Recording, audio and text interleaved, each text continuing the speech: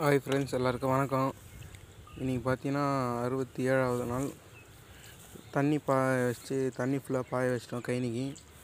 பார்த்தீங்கன்னா பயிர் வந்து வயிற்றில் வச்சுன்னு சொல்லுவாங்க. பார்த்தீங்கன்னா தெரியும். இங்கே இருக்குது இப்போ கதிர். இன்னும் கொஞ்ச நாளில் மேலே வந்துடும் மேலே வந்து பால் ஏறி அதான் நம்ம அறப்பறக்க வேண்டியதான் நம்ம வீடியோ பிரிச்சிருந்தால் லைக் பண்ணுங்கள் ஷேர் பண்ணுங்கள் விவசாய விளக்கு சப்ஸ்கிரைப் பண்ணுங்கள் அவ்வளோதான் ஃப்ரெண்ட்ஸ் தேங்க்யூ